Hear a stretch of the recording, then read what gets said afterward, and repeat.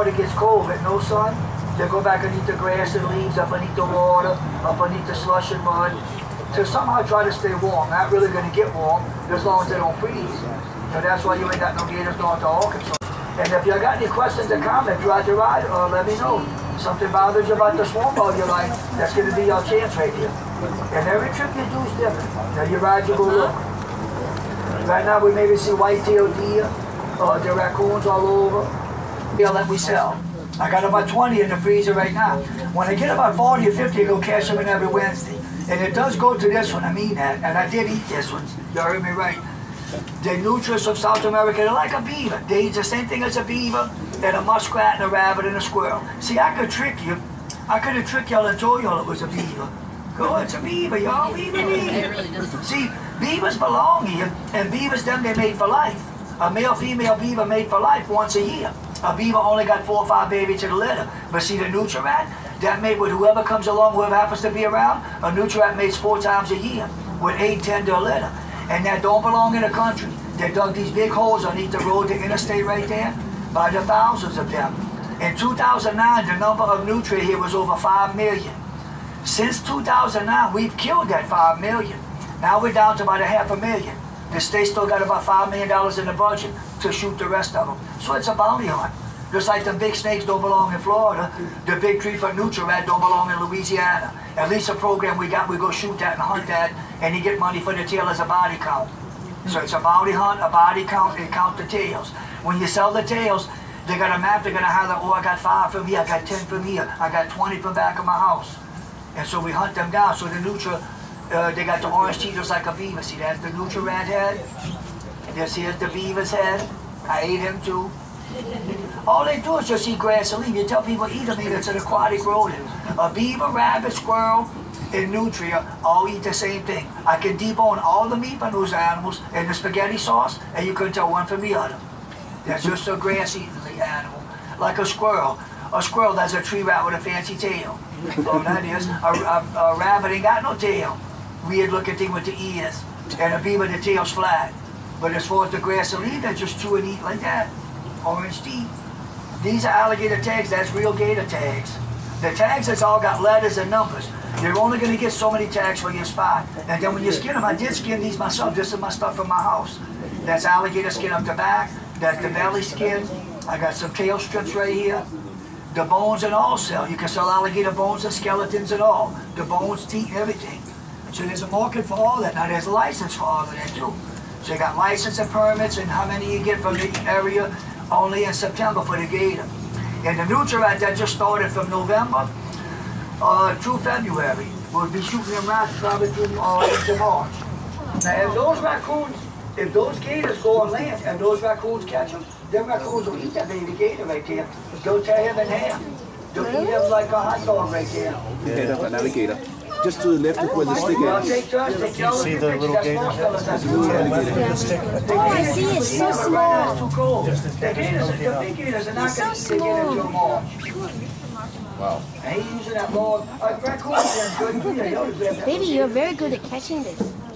The raccoon is legs like a coming, so cute. So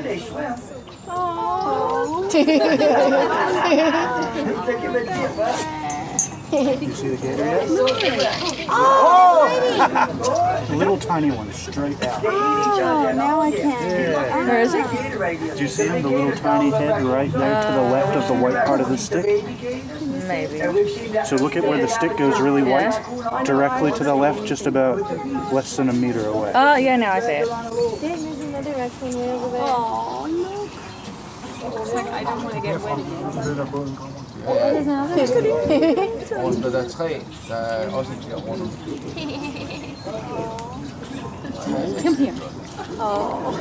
Good stuff. Oh no, that, I'm the first one to throw the marshmallows in the state. Look, you're looking at one of the first dudes to do these boat rides way back in the late 70s, early 80s. See the marshmallow thing? By 1987, no two was living in dock without. Back in 82, 83, We had tried a few of these boat rides with somebody, family or friend. There was about a three or four month period, we didn't charge them much of that, just to go ride in the bayou and go look. In those years, I, I was checking crawfish trap, crab trap, we were doing some different things, checking fishing lines. I didn't see there'd be no success, and now you're calling it tour. And look at now, all kind of boat and bus all over. I remember I tried bread, biscuit, muffin, Cheetos, I tried Oreo cookies, I tried vanilla wafer popcorn, I tried a bunch of stuff. By eighty-seven, no tour leaving the dock without the marshmallow. And I was just trying whatever, mini marshmallow biscuits. I did toasted bread for about two years, but you know what's if you had two toasters in the shop, it was always toasted bread, toasted bread. Toasted bread goes like a little frisbee when you bring it out. But as soon as it hits the water, it lays flat and low. And the raccoons and the gators eat all of that. So they got everything. And then the marshmallow ended up being the best. They're cheap, easy to buy. A dollar bag, got a bunch of bag, and it works pretty good. Now, I'd have never guessed. It's just something we try by luck.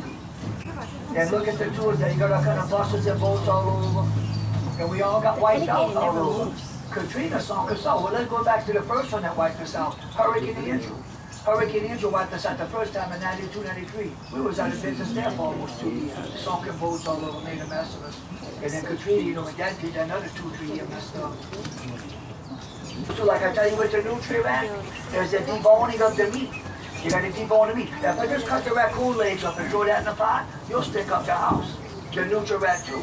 You gotta debone that with a filet knife. Don't put no bloody tissue, no fatty white ligament up in that. All gotta be pink red meat. Anything different than that, you're gonna stick yourself out. You're never gonna get that in your mouth.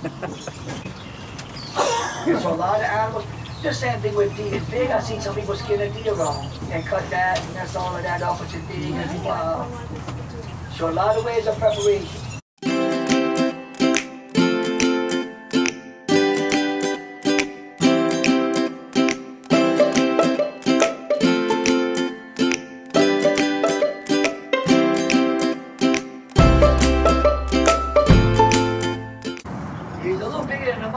Other ones, so I guess we'll take 50 years old, 500 pounds, uh, 50 years old, 12, 11, 12, 13 foot.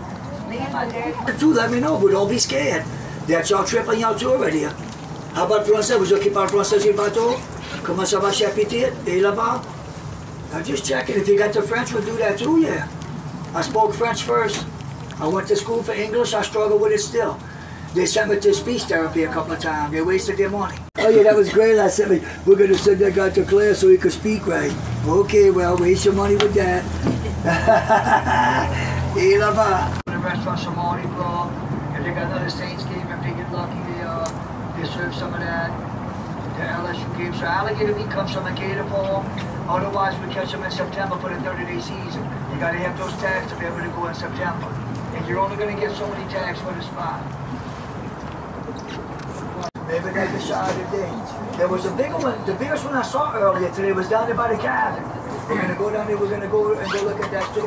They just Pointy, pointy, pointy, pointy. What? And then more spike on the back, the tail, like that. Okay. There's the countries here, the Philippines. There's India again. Okay now.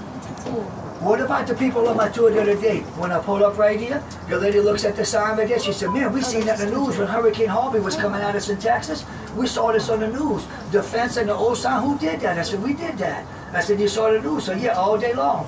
When they talk about 100 year storm, 100 year flood, 100 year hurricane flood, all that when you hear the term 100 year, you go back to these old storms that wipe these cities and states and countries out. Hundreds for hundreds of years, hurricanes been going on. We're gonna get when the old people were gonna pull us up, you probably got that thing that's all in the thing right in front of you. Is that the ship? Okay, No, that ain't. Oh, sorry. And then we got the bayou, okay. Maybe it's The old bayous there used to be old tributaries of the Mississippi River. You got bayous to the right, you got the bayou to the left. Now that straightaway up front is not a bayou, that's a canal. That's man-made and dug out. A canal, that's the difference. Canals man-made and dug out. A bayous are naturally made. Whether they washed out hurricane storm, however, old tributary of the Mississippi, where the is all zigzag around. You see how straight that goes to the left up ahead there? That goes straight to the railroad track. So that's being made and dug out there. There was an old logger canal, old logger trail, straight through to the woods to the railroad track as a shortcut. And the old bayou goes both ways to the, to the, uh, old river road to the right and the old railroad track to the left. And we're gonna go check by the cabin to the right, we'll take a look at this. We'll go back in here, uh, we're gonna go back the other way too and we'll see. I'm thinking, I don't know, maybe go down this other stretch, uh, go check some of that out.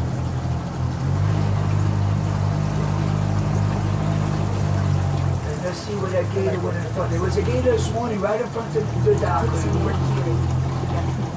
see, uh, I see huh? I gotta try to find where he went to. There's nothing up top there, no. Where you see one, you? Yeah. Yeah, okay, I see, yeah. Uh, that don't look like the one I'm looking for, but I take it. There was one earlier that said, the people that earlier should thought it was fake. He was sitting right in front with a big head sticking up right here. And I know he's watching us. He come out of this slush with this somebody. Let's see the one y'all saw right here. Let's take a look. What about dog camping cabin? See, no matter what state or country you come from, go back a hundred years ago, what's most people living in? Especially these bars and swamps. Old log cabins, old shelters, shack, shotgun houses, no electrical, much of nothing. You're cooking in a pot belly stove. And see, they have that tub. Now that came with that bin there. That's a quality item. In the old days, you'd wash you in the tub with your clothes and everything in the same old soapy water. That's an old school bed with no washer dry. That you wash and dry right there. You to throw your clothes up on the clothesline. That's an old school bath with the same old soapy water. oh yeah, look, they're not bad. Seen it? About a five foot gator, about like the one we saw swimming up there earlier. There's about a five foot one there. Look at he kind of skinny. Again, this time of year they will be skinny. They ain't been eating. He hasn't eaten since Halloween. Some of your bigger gators this size on up haven't eaten anything since Halloween. That was the last week I fed them chickens off the side of the boat. Halves of chickens and chicken neck and fish head and all. That was the last time we was here. And look at this gator got mud all over him. See where he's there? He bearing a slop somewhere all over. Shoot, that's a good shot too. Like I broke close there. Don't get no better than that. You can see he's full of mud. Now, if, it, if say it stopped raining and get colder, where he goes? Right back where he was, underneath these trees in the slushes somewhere. And nothing back from that away too, no. Some, somebody lived in the cabin? Somebody lived in that cabin until 1975. They abandoned it and put all it up for sale. That was the Schlesser family. And my grandpas all lived with families of five and eight. Some was a little bigger than that, a little bit better setup. But all of our grandpas go back 100 years. That all grew up in old cabins like that. Mine's not even that old. See, 75, 65, 75. Now, now given in that day and age, you have a couple of light bulbs, electricity, a few things. So you have a few things going on. But when you first would have built this, Say like the families in 1891, 1910, 1922, 1931. This what you would have built an old cabin like that. How you'd have got started. Whether you got a family of five, six, eight, whatever. And you'd have chopped wood, all the big saws, and then splitting wood and chopping. You'd have got the pot belly stove. That would have been a quality item. Your lady would have been begging the pot belly stove. And the bathtub, that's top of the line. That would have taken a year saving, 100 muskrat skin, 40 beaver skin, 4 or 5 gator skin, trade the mule for that and all, and then we got the tub. Boy, now we well, we getting up there. This is also real. that's real, boy, that's the real deal. They Is same this the last one here? This is, this has been abandoned, just like the graveyard, just like the house where I bought the swamp where I live at, that's all been abandoned. It just for, it was for sale. You could have, if you'd have known about this one.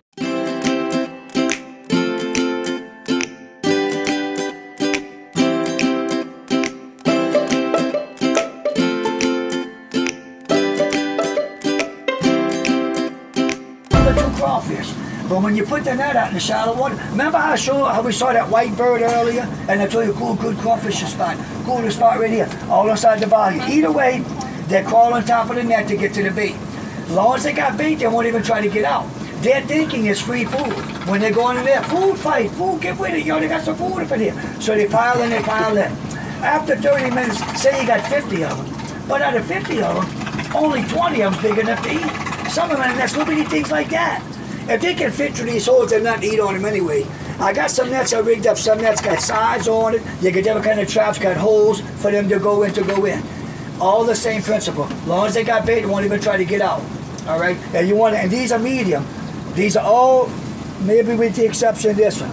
There's a number three right there. We say small, medium, and large. So that's a number three, that's a small. You see the meat of the tail? Wow. You get a bunch of them there, you ball them up with the rest of them. So that's a small one. And these other ones is mediums. I don't think I got a number one in here. This one here, hey, that one got a nice claw to it, but it's a medium and a number two crawfish. It's a number two tail. And this one's a male. See the tools right there? The white things right in the middle of his tail leg? That's the male. That's his four packers. That's the equipment. Oh, now what we should say? Viewer discretion advised. Oh, wait. Okay, that's a boy. Now watch out. Let me see if I find him a girlfriend. There's a girl, but she kind of nasty looking. well, I don't know, bro. Look, there's a girl right here. That's a female. See, she ain't got nothing right there. See, that's vacant right there. well, that's how it is, boy. You'll eat them tonight. When you eat something, you pull the tail. Oh, look at that one's got something extra right there. Well, that's the male. And then the female ain't got nothing extra because you the whole two in that. But either way, that's the uh, that's the kind that you catch them in. Small, medium, and large. The next couple of days they're gonna start biting good. I caught this just yesterday, day before. They're just getting started. Back with the snow, I didn't catch nothing. With the snow, the water got so cold, icy and all, uh, nothing. And now, the next couple of days are gonna stay like this. We're gonna get 50, 60 degrees another three or four days. They're gonna bite pretty good. So look for some in the restaurant tonight. And that's just an easy, and that's a simple two, three dollar net. Some nets has got side, a bigger setup, a taller wire. There's a bunch of ways to rig that up. But either way, the bait what makes them go in. Yo, yabbies too down here. Catch them the same way. See, that's the big, that's the big cousin. See these two here? Okay.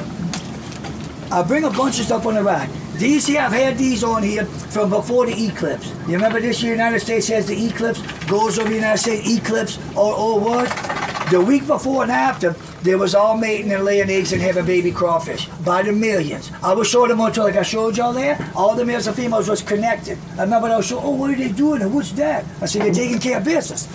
Okay? and that's the male. That just happens to be the way I got them. I could have said a bunch. This happened to be the two that were stuck together that I would keep on the show. Now I'll show them together. Now you see his equipment and sheet on. You see right here? And they got together for two, three days. Wee wee, look about to go out there now. Yeah, baby, right here. Wee wee wee. okay? So they took care of business four or five days in a row. But be nice, huh? Okay. And then about two weeks after that, the babies come up from underneath that tail. About 75, 80 babies come up from underneath that tail. Big as mosquitoes. They're putting it on it, huh? 75, Wait, 80 kids? Yeah. Well, she took care of business. There, he was, he was going at it. And the babies come out, big as mosquitoes, all glued together with the juice up underneath there. Okay. And here we are now, almost three months later. I saved some to show. I saved about a dozen. I gave some to Al. All of us take turn on the boat with stuff.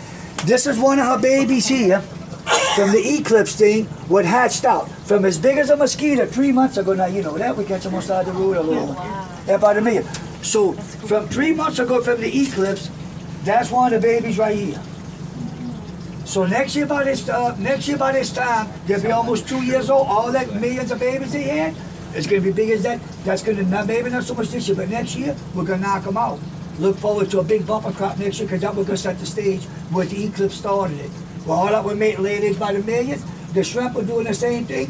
The yabbies, the lobster, all over the world that we're doing the same thing. What kicks it off. That was sometimes you got good sea. Oh, we got good dish. You go there, you go too good. Got good dish. You next year. So every few years, that's how seafood plays out sometimes. They got a good bumper crop, thousands and millions come out. And two, three years later, that's big enough to eat. We put it on them again. So that's not even three months old. And that was born from underneath that female by the. This has done shed four times. Each full moon, that shed. Last time it shed, it really doubled in size.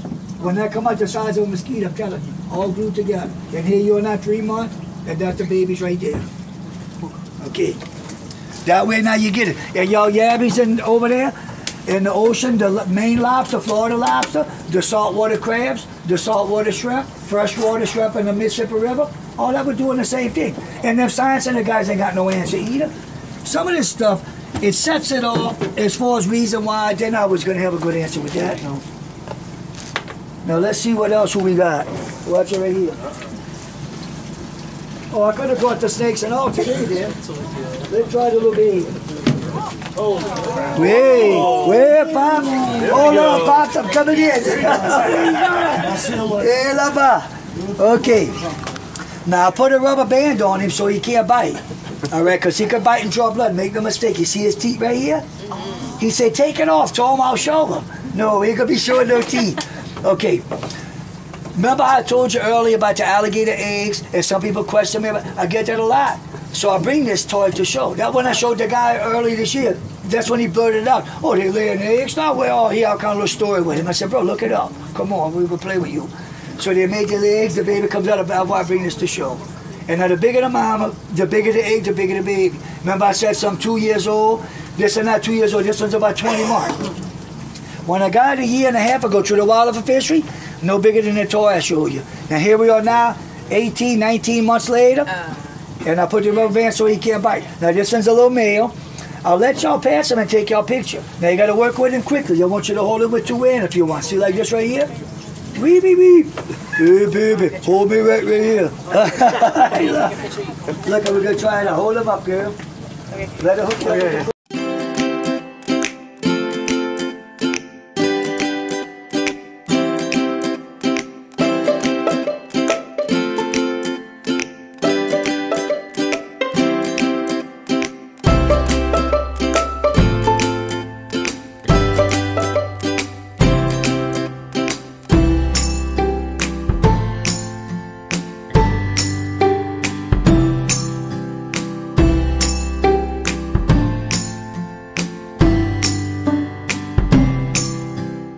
crawfish and this salamander, all of that too. He'd eat all of like potato chips. You got it, boo?